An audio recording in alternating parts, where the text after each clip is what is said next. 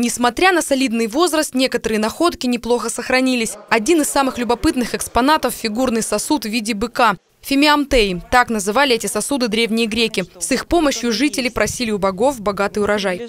Вот в эту чашу закладывалось нечто, что поджигалось, горело, наверное, появлялся какой-то дым, приятный запах. Если посмотреться, то вот на стенках этой чаши видны следы копоти. Есть и вещи покрупнее. Три пифоса археологи буквально собирали по кусочкам. Это специальные емкости для хранения продуктов и жидкостей. Особо крупные использовались даже в качестве жилья. Например, всем известная бочка Диогена.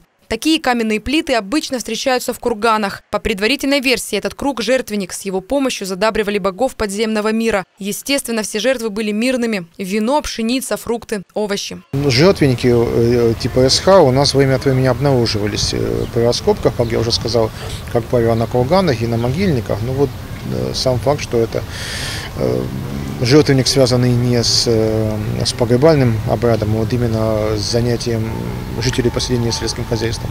Остальные артефакты сейчас находятся в архиве Анапского археологического музея. Их необходимо зарегистрировать и пронумеровать, а также придать некоторым находкам, что называется музейный вид. Все эти экспонаты планируется включить в экспозиции лишь в следующем году.